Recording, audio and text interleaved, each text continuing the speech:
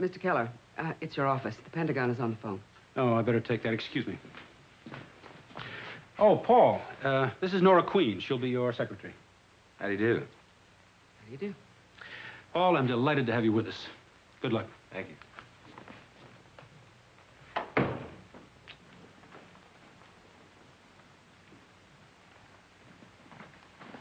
Well, what happens now? I don't know.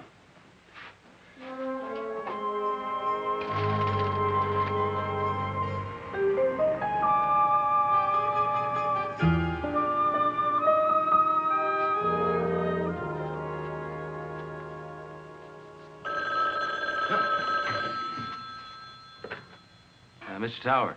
Hi, got a minute? Not really. Well, it doesn't matter. Dr. Evelyn's just left for lunch. I wanted you to know I was thinking about you. It's nice to know. Okay, bye-bye. Bye, sweetheart.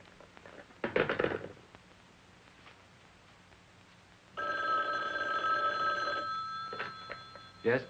Mr. Towers, is Miss Queen there? Her car's on fire.